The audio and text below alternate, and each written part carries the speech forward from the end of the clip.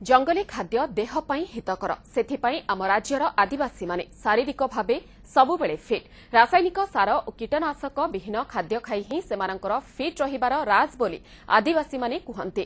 ଏହି ସଚେତନତାର ବାର୍ତ୍ତା ବାଣ୍ଟିବା ଉଦ୍ଦେଶ୍ୟରେ କେନ୍ଦୁଝର ବାଂଶପାଲା ବ୍ଲକର ସିଙ୍ଗପୁର ଗ୍ରାମ ପଞ୍ଚାୟତର ଗଜପୁର ଗାଁରେ ଦୁଇଦିନିଆ ଜିଲ୍ଲାସ୍ତରୀୟ ପାରମ୍ପରିକ ବିହନ ଏବଂ ଜୈବ ବିବିଧତା ମେଳା ଆରମ୍ଭ ହୋଇଛି।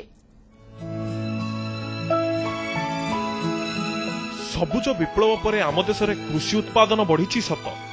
କିନ୍ତୁ ସେହି ତୁଳନାରେ ରୋଗ ମଧ୍ୟ ବଢିଛି। ତେବେ ଆଦିବାସୀ ଲୋକଙ୍କ କ୍ଷେତ୍ରରେ କଥାଟି କିନ୍ତୁ ପୁରା ଓଲଟା।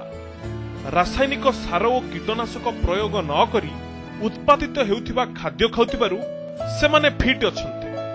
ଏହି ସଚେତନତା ବାର୍ତ୍ତା ବାଣ୍ଟିବା ଉଦ୍ଦେଶ୍ୟ ନେଇ କେନ୍ଦୁଝର ବାଂଶପାଲ ବ୍ଲକର ସିଙ୍ଗପୁର ଗ୍ରାମ ପଞ୍ଚାୟତର ଗଜପୁର ଗାଁରେ ଆରମ୍ଭ ହୋଇଛି ଦୁଇ ଦିନିଆ ଜିଲ୍ଲାସ୍ତରୀୟ ପାରମ୍ପରିକ ବିହନ ଏବଂ ଜୈବ ବିବିଧତା ମେଳା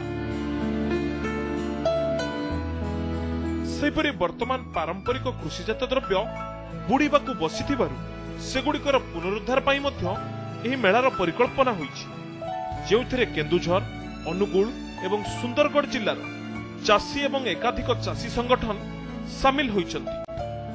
ବିଭିନ୍ନ ଅଞ୍ଚଳର ବିଭିନ୍ନ ପ୍ରକାର ବିହନ ଆମର ଥିଲା ସେଇଆ ଲୋପ ପାଇଯାଇଛି। ତେଣୁ ଏଇଠି ଆମେ ଆମ ପାଖରେ ଯୋଉ ବିହନ ଅଛି ଆମେ ତାଙ୍କ ପାଖକୁ ତାଙ୍କ ପାଖରେ ଅଦଳ ବଦଳ କରିବୁ ଏବଂ ଆମେ ବହୁ ମାତ୍ରାରେ ଯେମିତି ଆଗରେ ଚାଷ କରୁଥିଲୁ ସେଇ ଚାଷଟାକୁ